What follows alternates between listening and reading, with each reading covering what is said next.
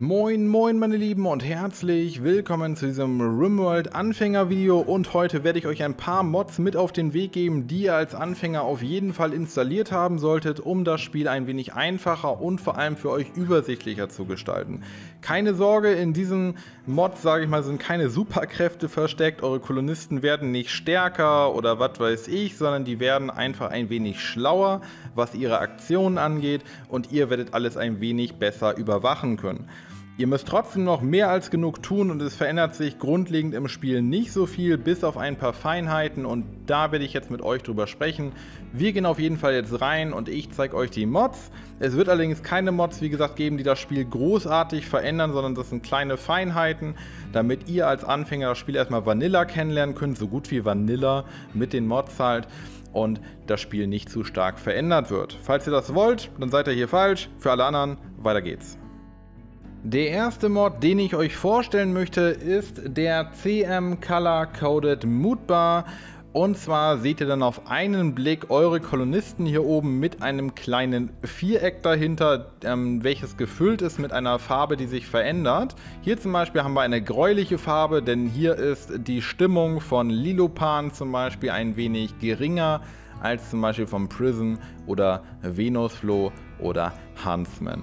Gehen wir zum Beispiel mal auf Huntsman und dann auf die Bedürfnisse. Sehen wir, der ist richtig glücklich und bei Lilopan ist es ein bisschen weniger und hier ebenfalls ein bisschen weniger. Aber damit haben wir alles im Blick und wir müssen nicht immer erst auf den Kolonisten gehen, dann auf Bedürfnis, sondern wir sehen es einfach auf einen Blick und gerade als Anfänger ist es besonders wichtig, eine Übersicht zu haben, damit man sich immer um die Kolonisten kümmern kann, die gerade, sage ich mal, den es, ja, die es am dringendsten brauchen. Wenn zum Beispiel jemand irgendwie Kleidung hat und sich nicht wohlfühlt und kurz davor ist, irgendwie richtig sauer zu werden, dann werdet ihr es hier auf jeden Fall schnell sehen können. Ich habe mal eben kurz meine Kolonisten ein wenig zusammengeschlagen, um euch was zu demonstrieren. Und zwar, gerade als Anfänger ist ein großes Problem, wenn wichtige Räume dreckig sind, denn dadurch entstehen Wundinfektionen und vor allem Lebensmittelvergiftung und beides macht eure Kolonisten richtig unglücklich und teilweise sterben sie sogar daran. Und dieser Mod Common Sense regelt das bzw. sorgt dafür, dass ihr deutlich weniger Wundinfektionen und deutlich weniger Lebensmittelvergiftung habt. Aber auch eure Kolonisten allgemein sind etwas glücklicher, denn wenn sie anfangen zum Beispiel hier vorne am Hufeisenstab zu spielen, dann werden sie hier ein bisschen sauber machen und dann erst weiterspielen. Also, ich demonstriere das Ganze jetzt mal eben. Hier wird er gerade versorgt so, hier wird er hingelegt und jetzt wird er mal eben versorgt. Ich mache hier mit der Behandlung, genau die Behandlung wird auch gerade hier vollzogen. Da schicke ich ihn mal eben hin. Übrigens bei Arbeiten, alle haben hier Reinigen auf 4, also keiner kommt auf die Idee, diesen Sauladen hier aufzuräumen bzw. zu putzen. Deswegen, hier wird jetzt erstmal behandelt und zack, wird dann sauber gemacht. Habt ihr gesehen? Hat sich, bevor er sich hingelegt hat, hat er hier alles sauber gemacht und sich dann erst hier hingepackt. Und das gleiche macht, hätte jetzt auch er gemacht. Das heißt, wenn ich jetzt mal kurz den hier nehme, komm, hau den mal eben kurz auf die Fresse, bitte. Genau, duck, duck, duck. Warum, warum haust du den nicht? Da. Das ist hier alles schön dreckig. Und jetzt machen wir mal genau das gleiche Spielchen. Hier wird behandelt. Zack. Sehen wir jetzt auch hier. Da wird alles gerade behandelt. Und zack, wird alles sauber gemacht. So, das gleiche auch beim Kochen. Und zwar mache ich hier mal eben kurz die Aufgabe an. Zack. Und sagt dem Venusfloh, er soll jetzt einfach mal kochen. So, jetzt holt er sich eben seine Sachen hier hin. Und dann macht er schön sauber hier und dann erst kocht er. Und das ist die Magie von Common Sense und ja, ich würde sagen, das ist eine der besten Mods, die ihr euch downloaden könnt. Und ja, gleich mal weiter zum nächsten Mod. Ihr habt euch sicherlich schon mal dabei erwischt, wie ihr mit WASD über die Karte gescrollt seid und irgendwas gesucht habt, statt einfach oben auf einen Kolonisten zu klicken. Das mache ich übrigens auch ziemlich selten. Aber da gibt es eine sehr einfache Lösung und zwar die Übersicht über die Karte ist eine wirklich wichtige Sache und auch die Übersicht darüber, wo die Kolonisten gerade sind und was diese machen. Mit der Dubs Mint Minimap könnt ihr das ganz einfach tun und viele andere Sachen, die ich euch jetzt zeigen werde. Und zwar kriegt ihr hier unten so ein kleines Icon, da drückt ihr drauf und dann habt ihr hier eine wunderbare Übersicht über Feinde, wie auch Freunde bzw. Kolonisten, auch sage ich mal irgendwelche äh, ja, Wanderer etc. pp. werden hier angezeigt. Und ihr könnt auch oben rechts auf den Zahnrad ein wenig individualisieren, was ihr angezeigt haben wollt etc. pp. Da könnt ihr auch die Farben anpassen und und und. Da werde ich jetzt nicht auf alles eingehen, könnt ihr euch in Ruhe selber angucken. Ist wirklich toll.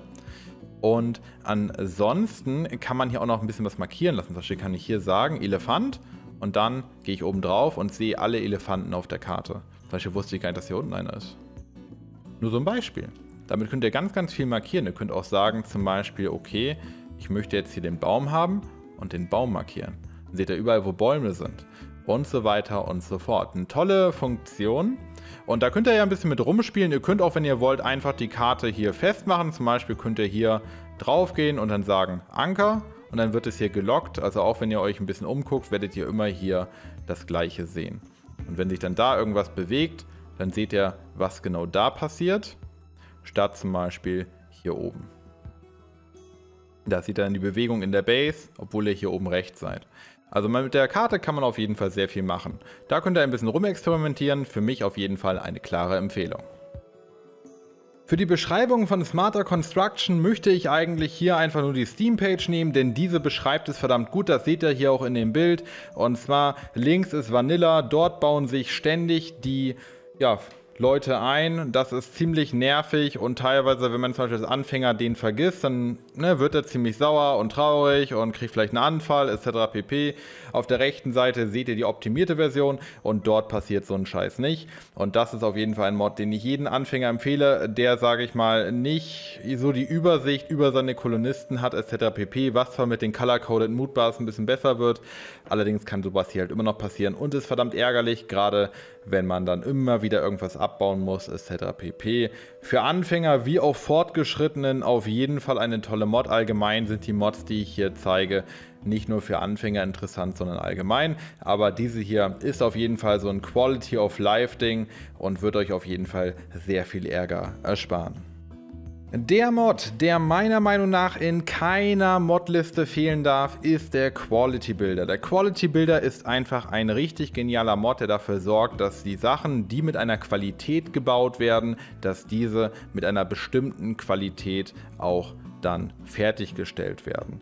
Das heißt nicht, dass ihr damit cheaten könnt. Wenn ihr jetzt zum Beispiel sagt, dass dieses Bett hier einen Wert von exzellent haben soll, dann könnt ihr hier unten drauf gehen und dann hier eingeben, was es haben soll. Zum Beispiel übel, schlecht, normal und so weiter und so fort. Könnt ihr jetzt zum Beispiel sagen exzellent oder meisterlich. Das heißt aber nicht, dass wenn da jetzt einer rangeht und daran arbeitet, dass es gleich ein meisterliches oder legendäres Bett ist sondern es heißt, dass das Bett nur stehen gelassen wird und nicht so ein Abrisszeichen hat, wenn es eine gewisse Qualität hat. Das werde ich euch mal eben zeigen, indem ich hier einfach mal auf meisterlich stelle. Dann nehmen wir den Haere, sagen bearbeiten der Blaupause, schicken ihn los. Und zack, da seht ihr, dort ist ein Abrisszeichen. Weil das hier ist nur ein exzellentes Bett. Und das habe ich ja gesagt, will ich nicht, sondern ich möchte ja ein legendäres haben. Jetzt wird Haere automatisch das Ganze nochmal abreißen. Ich muss ihn ein bisschen hin und her schicken gerade.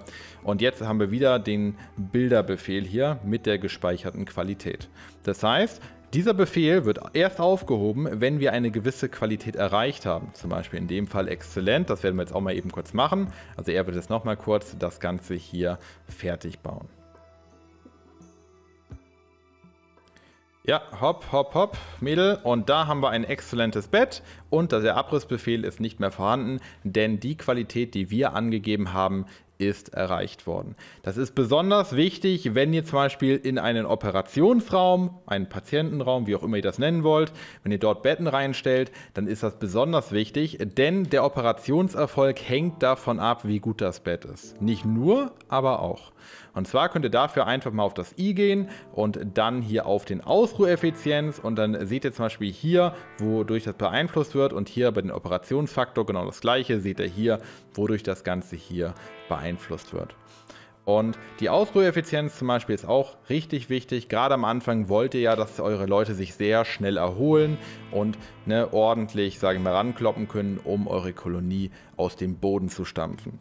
Deswegen Quality Builder darf auf jeden Fall nicht fehlen. Gerade wenn ihr später, in einem späteren Verlauf seid, dann wollt ihr nur noch exzellente Betten haben. Und dann sieht es vielleicht mal so wie bei mir aus mit exzellent, exzellent, exzellent, exzellent und so weiter und so fort. Und ja, Quality Builder, meiner Meinung nach ein richtig guter Mod, der in keiner Liste fehlen darf. Auch hier haben wir einen Mod, welcher sich eher durch die Steam-Page erklären lässt. Und zwar sehen wir es hier schon am GIF. Der Kolonist wird verschiedene Sachen zusammen aufnehmen und dann im Lager aussortieren bzw. aus dem Inventar wieder entfernen. Das geht leider in der Vanilla-Version von RimWorld nicht. Allerdings haben die Kolonisten halt ein Inventar, was sie halt nicht wirklich nutzen. In diesem Mod Pick Up and Howl machen sie genau das. Sie fangen an, ihr Inventar richtig zu nutzen. Das heißt, sagt ihr zum Beispiel, sie sollen jetzt das Gewehr und das Essen transportieren bzw. wegbringen, dann werden sie das auch zusammen tun und werden es in das jeweilige Lager bringen, wenn es in der Nähe ist. Das heißt, egal um was es sich handelt. Sie werden die Sachen, wenn sie nah beieinander liegen, zusammen aufnehmen und dann in die jeweiligen Lager bringen. Das ist wirklich hilfreich, spart euren Kolonisten eine Menge Arbeit und euch eine Menge Nerven. Nicht nur Anfänger, sondern auch Fortgeschrittene waren sicher schon einmal in der Situation, dass sie einen Kolonisten hatten, der fast perfekt war, aber der diese eine Sache hatte, die einen nicht gefallen hat. Deswegen gibt es EDB Prepare Carefully. Mit EDB Prepare Carefully könnt ihr eure Kolonisten anpassen, allerdings da müsst ihr ein bisschen aufpassen, denn das Ganze kann auch ähm, ins Cheaten gehen. Das heißt, wenn ihr hier in Prepare Carefully geht, dann könnt ihr zum Beispiel auch hier einfach kochen, einfach dermaßen nach oben hauen, bis zum geht nicht mehr und pflanzen auf 20 und so weiter und so fort. Und das ist natürlich doof. Wir wollen ja nicht cheaten, sondern wir wollen das Ganze einfach nur anpassen. Deswegen, hier müsst ihr auf jeden Fall aufpassen. Und da sieht man dann auch oben rechts sehr gut, wie viel man an Punkten ausgegeben hat. The starting colonists and resources that we randomly generated for this scenario were worth bla bla bla. Also dort steht, wie viele Punkte am Anfang vorhanden waren. Das heißt, jetzt zum Beispiel habe ich zu viele Punkte. Das heißt, wenn ich hier ein paar rausnehme überall, dann bin ich wieder auf dem Wert, den ich ursprünglich hatte. Und wir können jetzt ein bisschen was verändern beim Equipment und bei den Charakteren, um diese Balance zu halten, aber gleichzeitig den Charakter so anzupassen, wie wir ihn haben wollen. Hier sollten wir auf jeden Fall oben auf die Punkte aufpassen, damit wir nicht cheaten. Wenn wir uns aber daran halten, sage ich mal, dann ist es kein Cheaten, sondern wir haben irgendwo einen Verlust und irgendwo einen Gewinn. Und wir können selber gestalten, wo dieser Verlust und dieser Gewinn halt ist. Das ist für mich dann fair. Ich persönlich benutze das nicht mehr so häufig, denn ich habe, beziehungsweise ich benutze es nicht mehr so, dass ich hier rumstelle, sondern ich habe sogenannte Presets. Hier kann ich einfach etwas laden, zum Beispiel das hier ist ein ganz alter Preset von mir. Und da seht ihr auch oben Point Spend, da bin ich genau bei ne, 10.600 und die habe ich dann schön verteilt hier, habe ein schönes Allrounder-Team und beim Equipment habe ich ebenfalls ein bisschen was verändert. Und ja, das könnt ihr ebenfalls tun. Und so könnt ihr mit EDB Prepare Carefully eure eigene, sage ich mal, ja, eure eigenen Kolonisten machen und vor allem auch trotzdem dabei nicht ins Cheaten abdriften. Und ja, ich wünsche euch damit auf jeden Fall sehr viel Spaß. Ich hoffe mal, diese Mod-Zusammenstellung hat euch gefallen. Falls ja, dann Däumchen nicht vergessen. Ich habe sicherlich den einen oder anderen Mod vergessen, der trotzdem, sage ich mal, gut wäre für Anfänger. Und falls ihr, sag ich mal, euch denkt, hey, der hat irgendwie den und den Mod nicht erwähnt, dann ab in die Kommentare, schlagt den Mod vor, am besten noch mit Link. Und dann könnt ihr, sage ich mal, den Anfängern damit auch, ja, ganz gut helfen. Und vielleicht machen wir irgendwann auch nochmal ein Follow-up-Video. Beziehungsweise werde ich dann ein Follow-up-Video machen und eure Mods dann mit einbinden. Und ja, ich bedanke mich fürs Zuschauen, wünsche euch noch einen wunderschönen Tag und ich hoffe, dass ich einigen Anfängern mit diesem Video helfen konnte. Bis zum nächsten Mal, ich wünsche euch was und tschüss.